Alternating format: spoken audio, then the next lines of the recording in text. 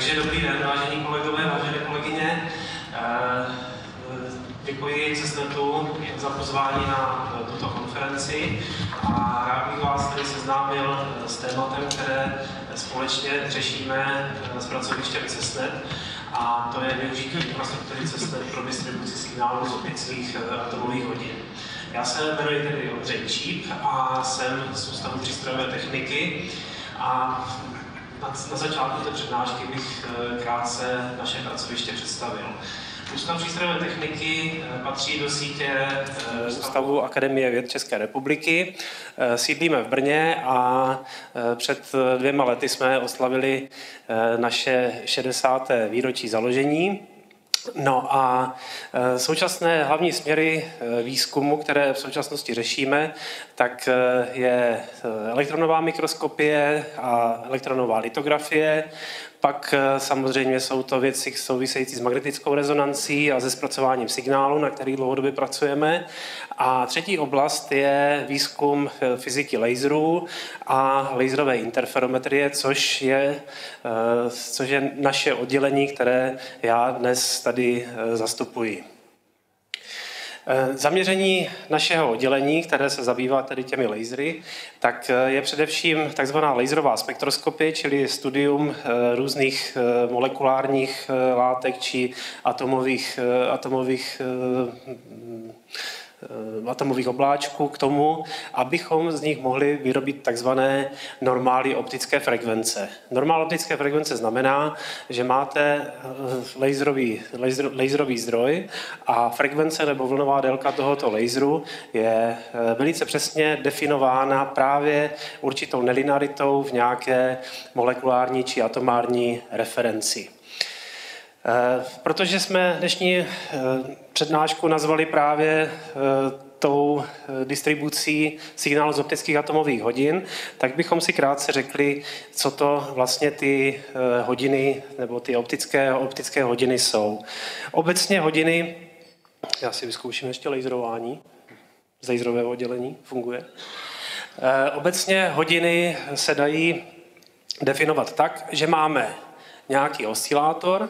Ten oscilátor pak eh, musí být něčím referencovaný a pak ten oscilátor musí mít nějaký odečet. Tyto tři prvky, když máte k dispozici, tak máte hodiny. Představíte-li si například to kivadlo Huygensovo, takový ten první, první časostroj, který existoval, tak kivadlo to je ten, eh, to je ten oscilátor, pak eh, země koule to je ta reference, vůči které pracuje, že ten, ten oscilátor.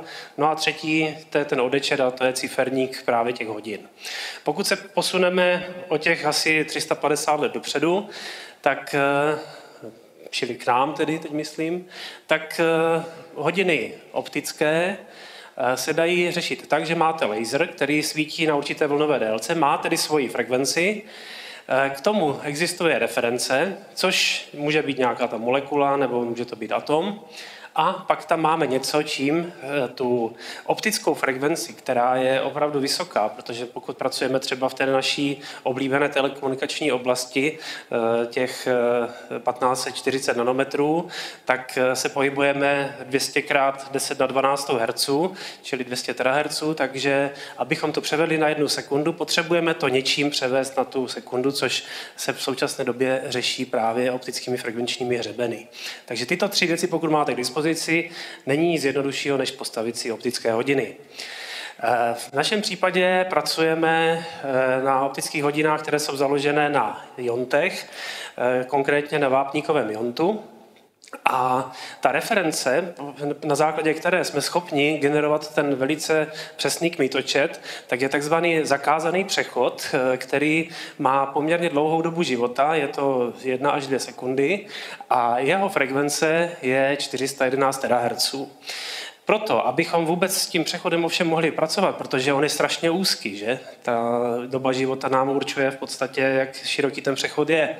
Tak eh, nejdřív ten eh, atom musíme zbavit jednoho elektronu, abychom z něho udělali jont. A to si řekneme za chvilinku, proč tedy jont. Eh, je to z toho důvodu, že ho potřebujeme zachytit do nějakého prostoru, který je ale perfektně izolován od všeho ostatního, což se děje tedy elektrickými pastmi.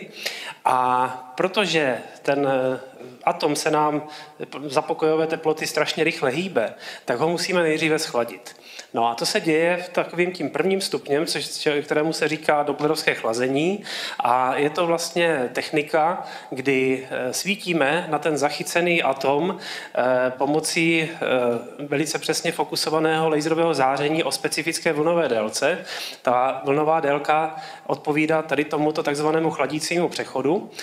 A ve chvíli, kdy Eh, jsme naladěni s tímto laserem na ten chladící přechod, tak ten atom je, eh, má tendenci absorbovat to záření a při absorpci toho záření zároveň přináší, eh, přijímá také hybnost těch fotonů, které sebou nese ten, to doplerovské chlazení. Takže v podstatě srážkami toho atomu s tím, s tím chladícím laserem nebo s tím zářením z chladicího laseru, my postupně odebíráme energii tomu, tomu atomu a dostaneme ho do takového stavu, kdy tento zakázaný přechod už není rozmazaný tím chaotickým pohybem, ale je krásně viditelný. No a v té chvíli můžeme začít pracovat na té spektroskopii, která potom je schopná zavěsit ten hodinový laser na ten hodinový přechod toho atomu. Já jsem říkal, že si něco řekneme o tom iontu, eh, proč ho teda zachytíme. My ho chytáme tady v té vakuové aparatuře. Vakuum je tam proto, je opravdu velice vysoké. Je tam proto z toho důvodu, aby srážky toho našeho zachyceného iontu eh, s, tím, s, těmi, s těmi nečistotmi, nečistotami tady, tak bylo, byly co nejmenší. Takže to, tam, máme, tam máme perfektní vakuum a sídlí ten, nebo je zachycen ten iont v takzvané elektrické pasti a ta past je nabuzená eh, střídavým napětím proto, aby tam vznikl takový efekt, eh, který si teď ukážeme na následující prezentaci nebo eh, krátkém, krátkém videu. Tady, se, tady vidíte, že toto je sedlo, do kterého se snaží tady kolega strčit ten, nebo zachytit ten jont, ovšem, protože bavíme se o střídavém poli, že?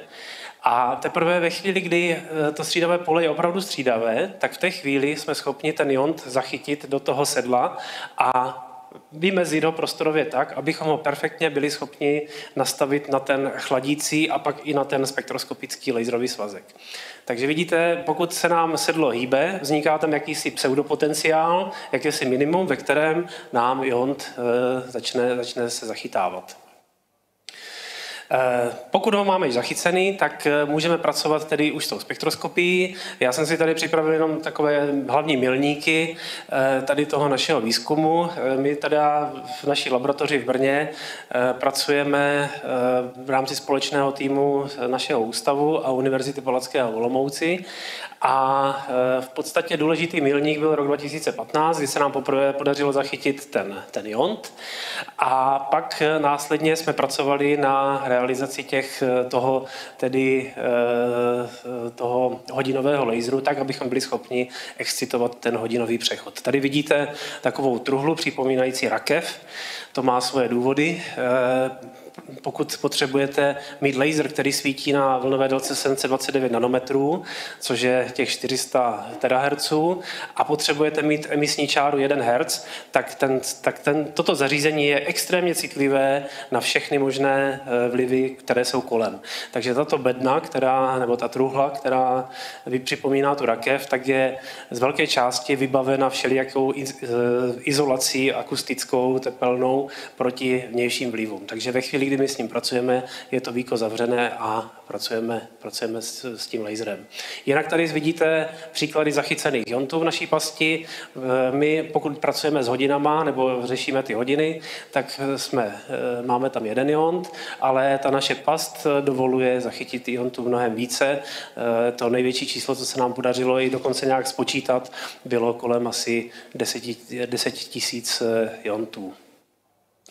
No, eh, ještě předtím, než začneme pracovat s tím, aby ten ion fungoval jako reference pro ty hodiny, tak eh, my ho ještě potřebujeme dál schladit. A k tomu, abychom ho schladili, už si nevystačíme s tím doplerovským chlazením, ale musíme eh, použít takzvaný eh, sideband cooling, což je metoda, kdy my se postupně snažíme odebírat tomu atomu jakousi operací, operací interakce to laserové záření hodinového laseru a toho atomu energii tak, aby nám on, co, pokud možno v té pasti, co nejméně kmital. Ten eh, ideální stav, eh, ke kterému spějeme vždycky, tak je takzvaný základní pohybový stav a je to chvíle, kdy ten atom už eh, má takovou pohybovou energii, že už nemůže být menší. To je, to je takhle definován takzvaný základní pohybový stav a z tohoto stavu ho můžeme jenom ohřívat a jdeme potom žebříčku nahoru. Čili toto si představíte jakoby takový důlek a naším cílem je ho dostat do toho důlku, kdy on je perfektně eh, od, od, eh, odchlazený a eh, přestává interagovat s tím prostředím. Tak pokud ho máme tady v tom stavu, můžeme s ním pracovat právě pro ty hodiny.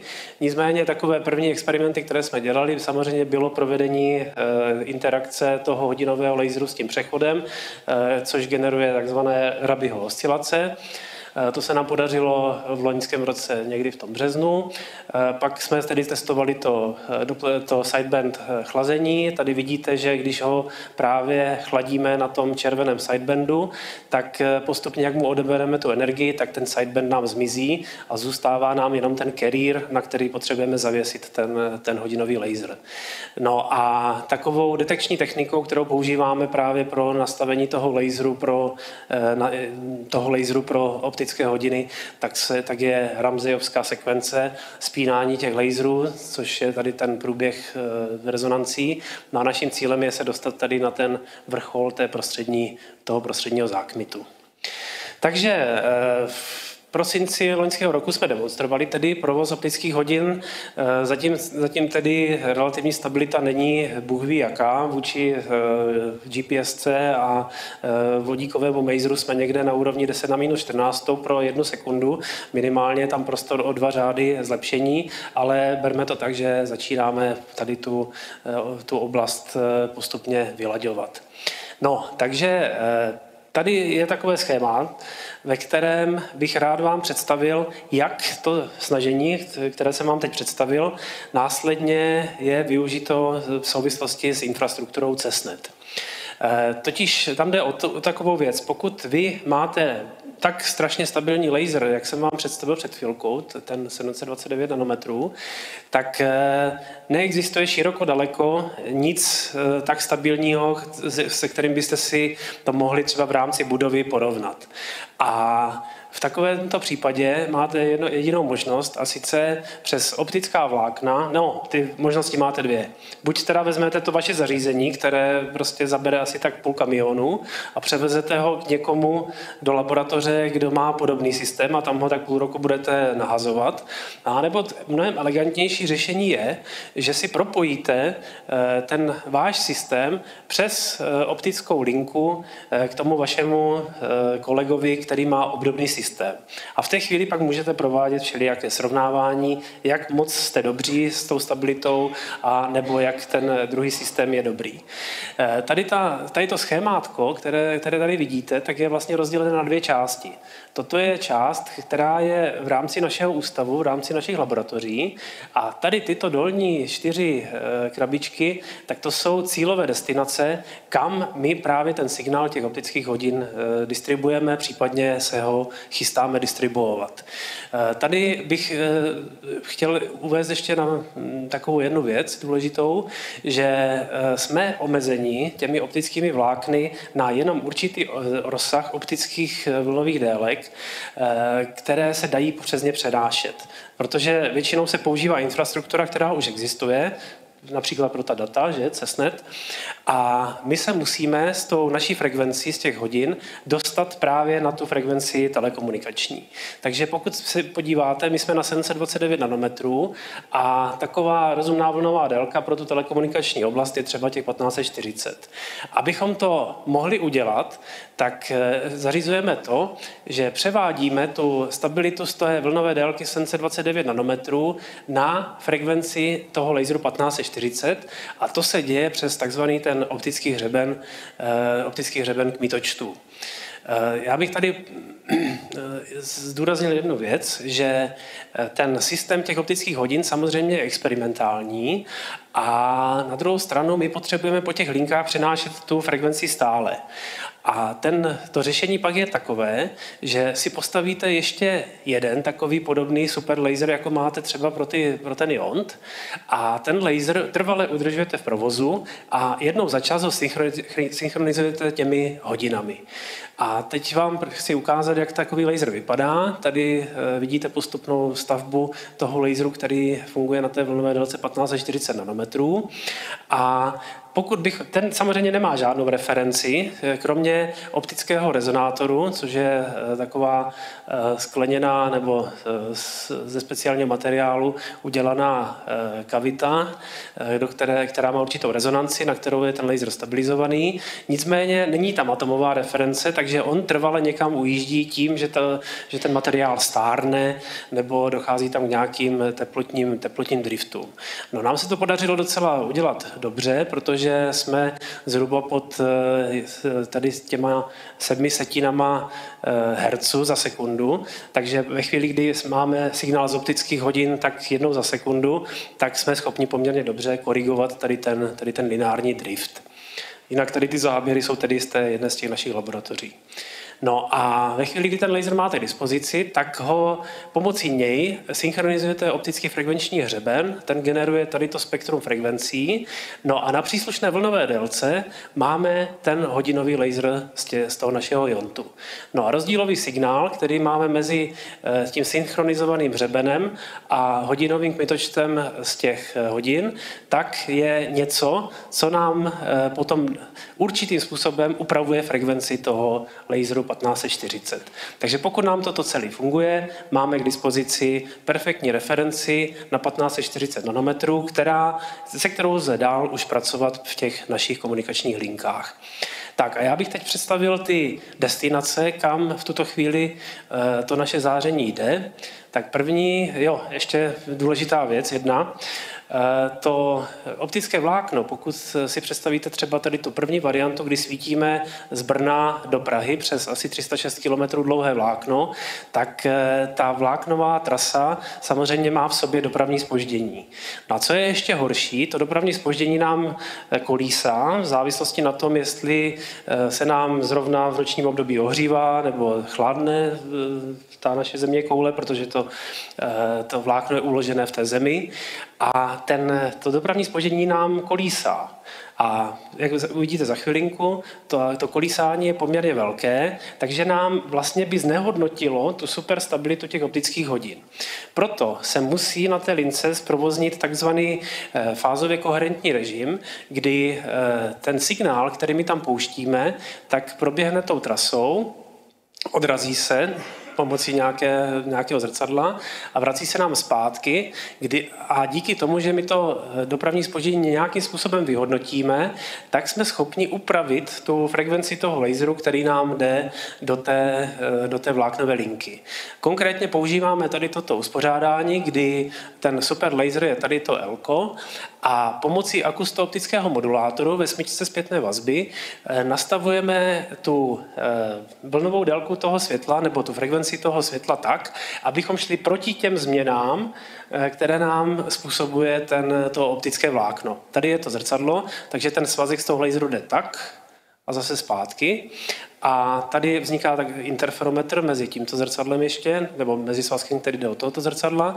A v tomto místě vzniká zázněk, který potom nějakým způsobem zpracujeme a pošleme do toho akusto-optického modulátoru.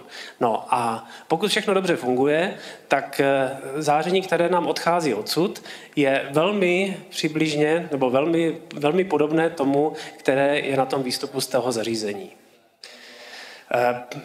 Tady na tomto grafu právě vidíte už to konkrétní eh, vyhodnocení linky z Brna do Prahy, kterou provozujeme od roku 2015.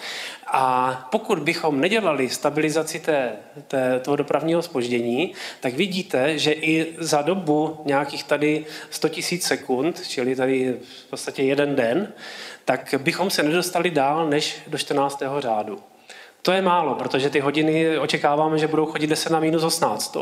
Ovšem, ve chvíli, kdy zapneme tu aktivní eh, kompenzaci, tak vidíte, že se do toho 18. řádu jsme schopni dostat.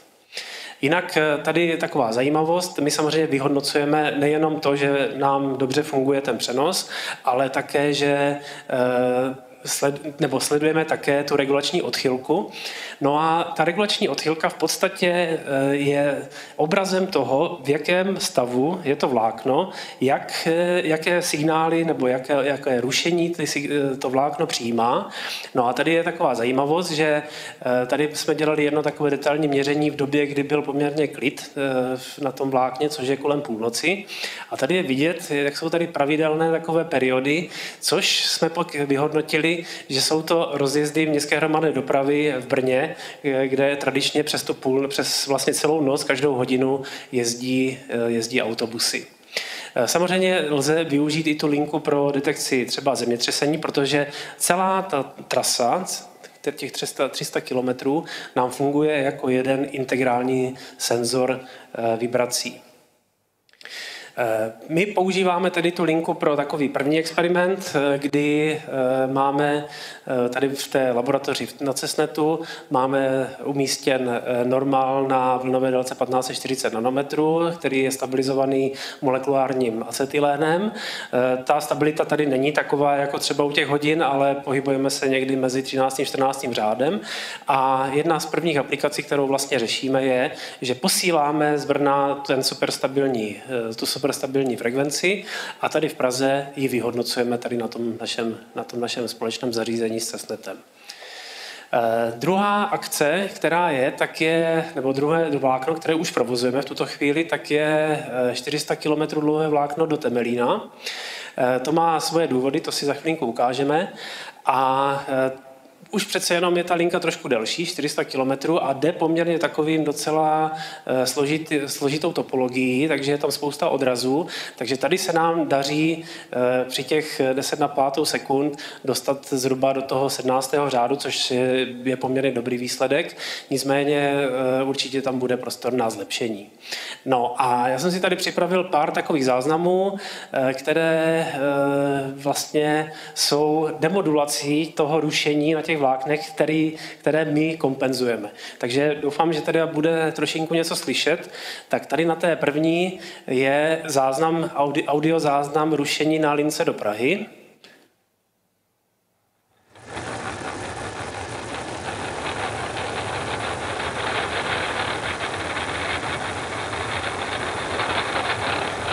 A e, pravděpodobně slyšíme nějaký provoz e, vlaku metra tady v Praze, protože e, skoro celá trasa je zakopaná v zemi vedle ropovodu, ale v Praze nám to vede po několika mostech, takže to, to, to co jsme slyšeli, tak byl průjezd zřejmě nějakého vláčku metra po některém z těch mostů. Tady je e, ta linka do toho Temelína a to je už horší. Nechám vyslechnout nejdřív.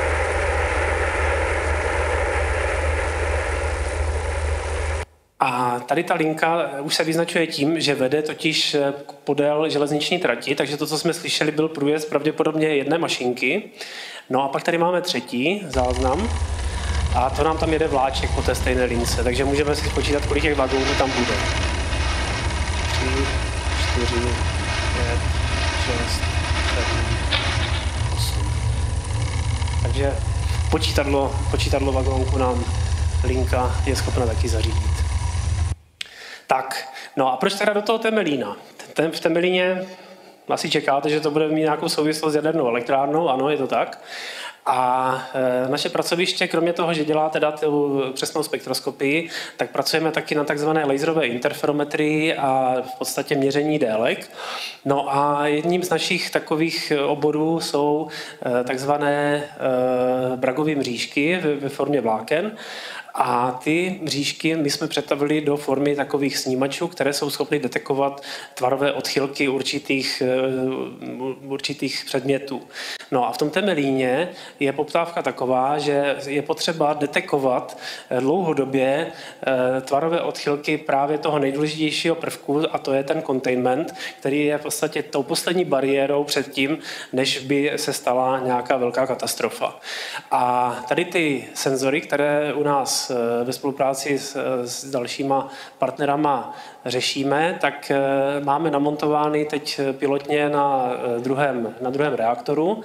No a ta, ten princip vyhodnocení z těch snímačů je takový, že ta mřížka funguje jako optický filtr, který je závislý na tom, jak dojde k protažení těch dvou bodů, ve kterém jsou uchyceny ty senzory.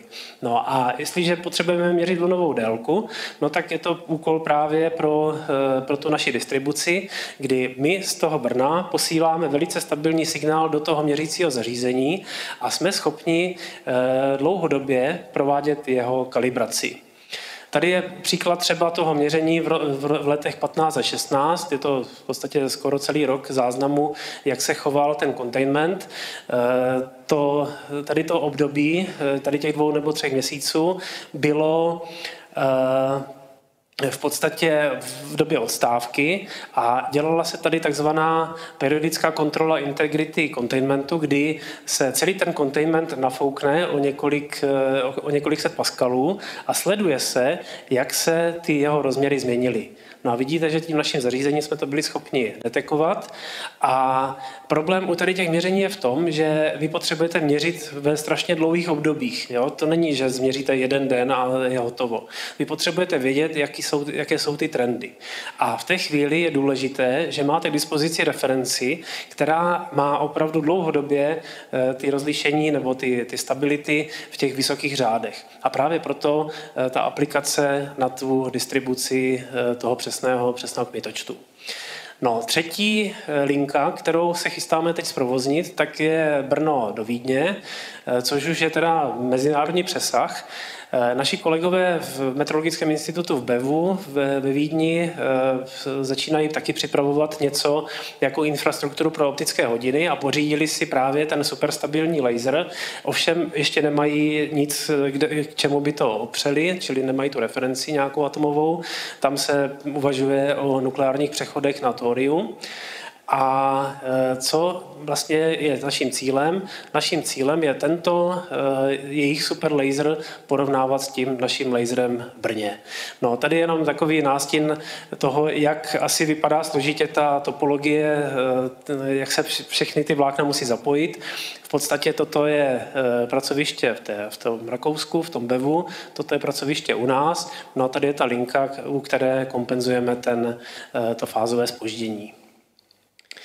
No, eh, samozřejmě eh, toto je jenom taková kapka na tom naš, v tom našem snažení eh, v podstatě by se dalo říct, že tady to propojení do Prahy, do, do toho Temelína a do té Vídně je eh, takový jako trénink, tréninková záležitost pro to, aby naše společné týmy, tedy UPT, Univerzity Palackého a Cesnetu, byli schopni právě řešit ten, ten vysoce stabilní přenos. Nicméně my míříme mnohem dál a to je něco, jako je vytvoření Eh, jako je vytvoření celoevropské infrastruktury, která by právě přenášela ty superstabilní kmitočty z těch jednotlivých meteorologických institutů.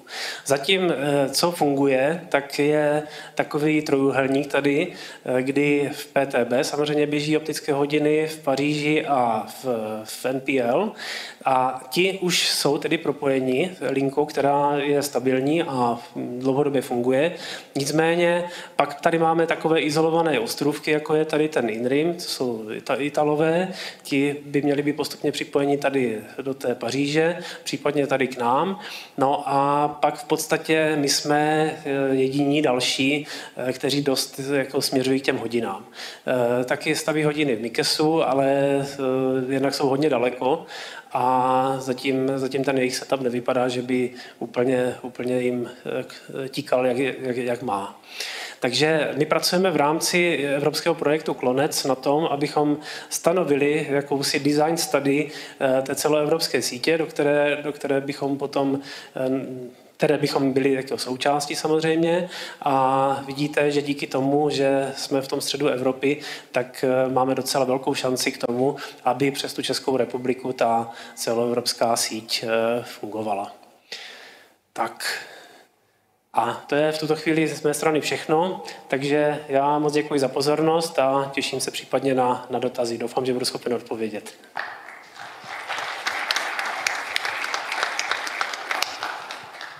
Takže prosím, co nějaké dotazy? Tak, už tady elektronicky naběhly dotazy, tak já nejdřív teda s dovolením pře, Eh, přečtu to první.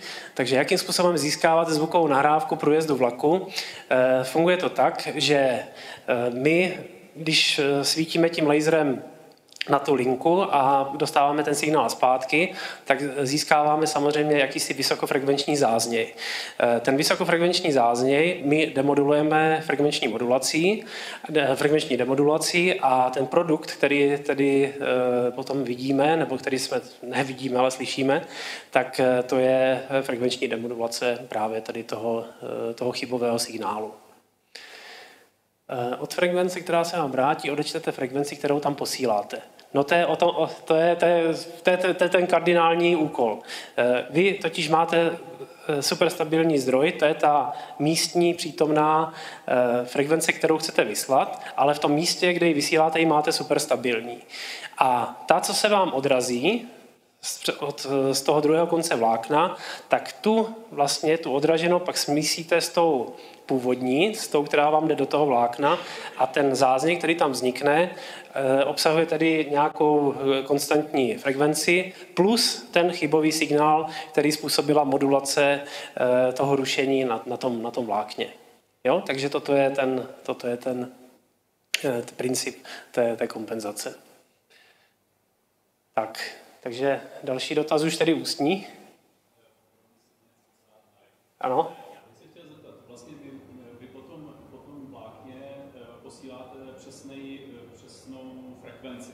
Ano. Ale když třeba bychom mluvili o hodinách, tak potom na některou z těch hran, která vlastně vám tam jde nahoru dolů, nahoru dolů, musíte říct, že toto je ta, já nevím, 12. hodina, 0. vteřina, 0. 0. 0. vteřina. Jakým způsobem vlastně se dělá tohleto značkování, nebo jestli to se k tomu se třeba používá GPS nebo prostě nějaký další systém, jakým způsobem se dá prostě vlastně na tu přesnou frekvenci, na tu jednu ten, ten, vlastně ten čas. Ano, to je totiž eh, zásadní rozdíl. My eh, přenášíme frekvenci. Ten eh, úkol, který řešíme, tak je přenos frekvence a pak je úplně druhá široká oblast a to je přenos času. A to je to, co říkáte, tam opravdu už záleží na té časové značce, kdy opravdu bylo těch 12.00, 00 a tak dále. A na to jsou dost podobné techniky, ale už se musíme bavit o modulacích. Takže eh, první takové řešení je, že, se, že tam opravdu nějaká obálka, je to nějaká amplitudová modulace, která vám říká, že každou vteřinu tam v podstatě se objeví nějaký ten, nějaký ten pík. Eh, když už jsme na eh, rozlišení v oblasti vteřiny, tak tam už se zasynchronujeme poměrně snadno, protože v tu dobu, ve chvíli, kdy vyšleme tu jednu sekundu, tak řekneme, ano, teď bylo tolik a tolik hodin. A a pak jsou to všelijaké techniky frekvenční modulace, kdy e, různými sidebandy se tam prostě přidává tam modulační obálka nebo modulační zdvih když se na to podíváme ze signálového hlediska, který detekuje zase ty začátky konce těch sekundových period. Takže na to, na to existuje celá řada zařízení, dokonce některé už jsou tak jako docela standardizované. První je Bílý králík, White Rabbit, který to řeší nějakým způsobem v paketovém provozu přímo, ale tam ty stability nejsou kdo ví jak dobré. Pak eh, kolegové z Polska eh, řeší systém LSTAP, eh, kdy tam právě posílají taky nějaké takovéhle pulzy. No a kolegové z CESNETu samozřejmě, ty jsem měl vlastně říct jako na prvním místě, tak kolegové z oddělení sítí právě řeší tak, taktéž ten systém s tou amplitudovou modulací. Myslím, že tímhle způsobem se přenáší čas, ovšem ne, nestabilizovaný eh, mezi eh, tady pražskou laboratoří a tou vídeňskou BEF.